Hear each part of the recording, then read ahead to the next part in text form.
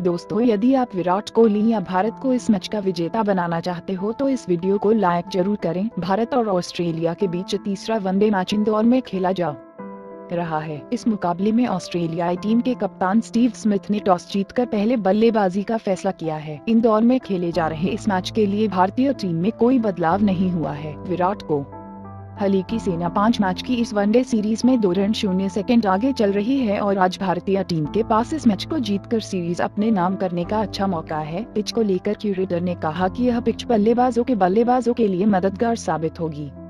लेकिन समय पर कलाई के स्पिनर इस विकेट पर अपना चमकदार खेल दिखा सकते हैं। भारत अगर आज का मैच जीतता है तो वह सीरीज़ जीतने के साथ साथ वनडे में पहले पायदान पर काबिज हो जाएगा।